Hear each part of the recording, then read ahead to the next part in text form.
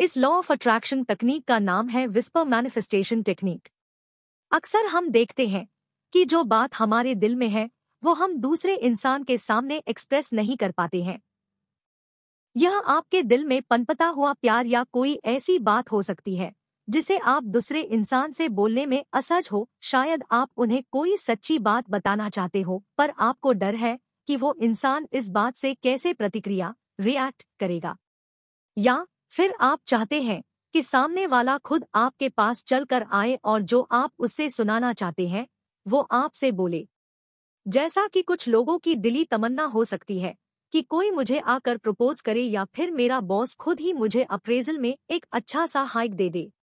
क्या आप भी ऐसा ही कुछ चाहते हैं अपने जीवन में?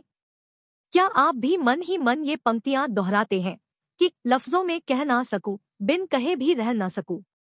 यहाँ पर मैं आपको बताना चाहता हूँ कि आज हम एक ऐसी ही तकनीक आपके साथ शेयर करने वाले हैं, जिसके साथ आप जो भी इस तरह की विशेष मैनिफेस्ट करना चाहते हैं, वो आप चुटकी में कर पाएँगे।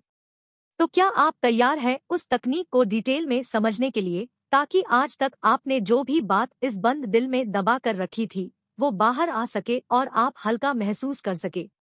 हमने कभी ना कभी ये महसूस किया होगा कि हमारे अंदर ही अंदर एक बेचानी सी चलती रही होती है, और अब हम बस ये चाहते हैं कि या तो हम सामने वाले से बात कह दे या खुद सामने वाले हमारे से वो बात बोल दे। मैं देख पा रहा हूँ कि आप इस सोच में हैं कि क्या ये विस्पर मैनिफेस्टेशन तकनीक है, वही तकनीक है जिसके साथ हम सामने वाले से आपने दिल की बात कह सके या फिर उस इंसान से ही बोलवा सके।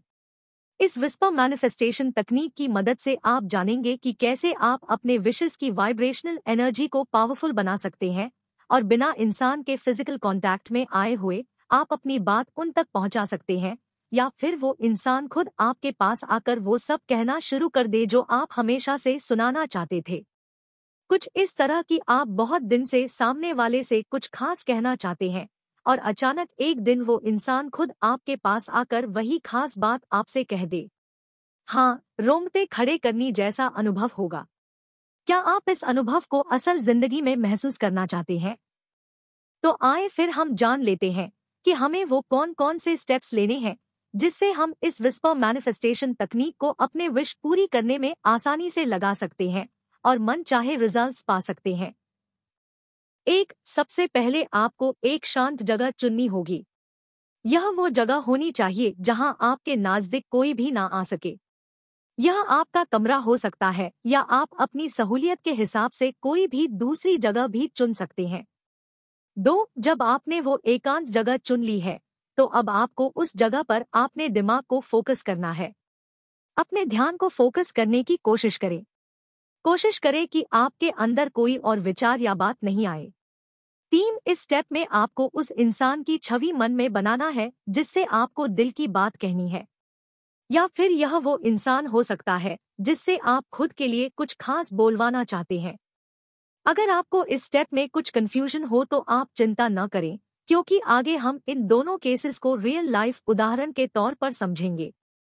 चार, आप खुद में यह तय कर ले कि आखिर उसी इंसान से आपको वो कौन सी बात कहनी है या फिर कहलवानी है। इस स्टेप में अगर आप सफल हो गए तो ये विस्पर मैनिफेस्टेशन तकनीक आपकी ज़िंदगी बदल देगी, क्योंकि यहाँ हम क्लैरिटी की शक्ति देखेंगे। पाँच, आपको आपने विजुअलाइजेशन की शक्ति को दिखाना होगा। आपको यहाँ पर देखने की कोशिश करनी है कि आप उस खास इंसान के सामने बैठे हैं, आपकी आँखें उस खास इंसान की आँखों में देख रही है और आप अपनी विश उस खास इंसान के कानों में बोल रहे हैं। जब आपने ऊपर के पाँचों स्टेप्स चल लिए हैं तो इस यूनिवर्स का शुक्रिया अदा करें, बोले कि आप उनके लिए कितने एहसानमंद हैं, कि आपने अपने दिल की बात आज ज़ाहिर कर ही दी, या वो बात सुन ली जो आप हमेशा से सुनाना चाहते थे। उस खुशनुमा ख्याल में डूबे रहे और इस असीम शक्ति को धन्यवाद दे, जिसने आज आपकी इच्छा को पूरा करके दिखाया है।